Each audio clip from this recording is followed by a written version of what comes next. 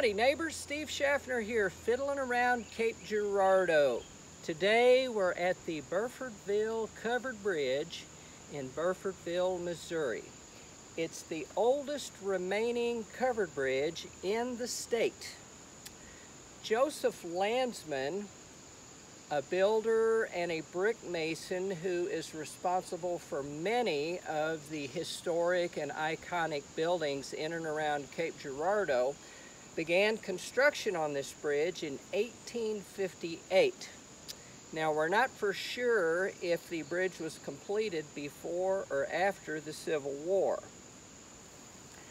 It spans the Whitewater River and the Whitewater eventually empties into the Mississippi River. It was a toll bridge until 1906 at that point, some local farmers got tired of waiting for the local courts to abolish the tolls, so they broke down the gates and continued to use the bridge without paying.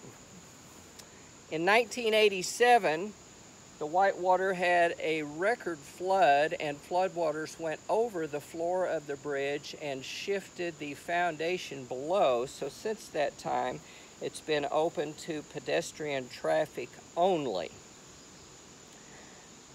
The tune for today is an Irish reel called The Red-Haired Lass. Hope you enjoyed that. We've been exploring Cape Girardeau history.